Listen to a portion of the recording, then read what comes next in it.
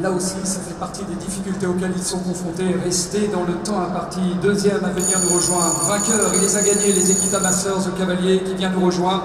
Il sera ravi d'avoir le soutien du public de Lyon ce soir. Allez, l'Espagnol, Sergio Alvarez Moya.